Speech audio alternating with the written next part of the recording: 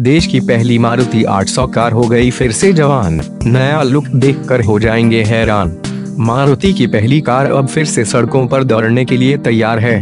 देश की सबसे बड़ी कार निर्माता कंपनी मारुति सुजुकी ने अपनी पहली कार 14 दिसंबर उन्नीस को लॉन्च की थी। पहली कार मारुति 800 थी, जो इंडियन एयरलाइन के कर्मचारी हरपाल सिंह ने खरीदी थी। खुद तत्कालीन प्रधानमंत्री इंदिरा गांधी ने इस कार की चाबी उन्हें सौंपी थी। लेकिन बीते वक्त के साथ कार में खराबी आती गई और कार कबाड़ में तब्दील हो गई।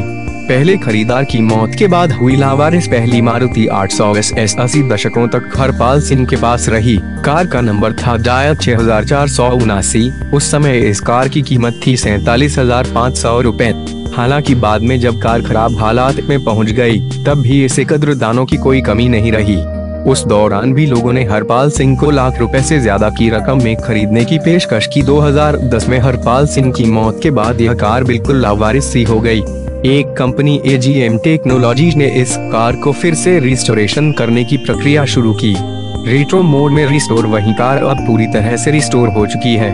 Car customisation company AGM technologies ने कार को पूरी तरह से रेट्रो मोड में रिस्टोर किया है। जहाँ पहले ओरिजिनल कार सफ़ेद रंग की थी, लेकिन अब इस कार को नए क्लासिक लाल रंग का कलेवर दिया गया है। कार को अंदर और बाहर दोनों तरफ़ से पूरी तरह से बदल दिया गया है।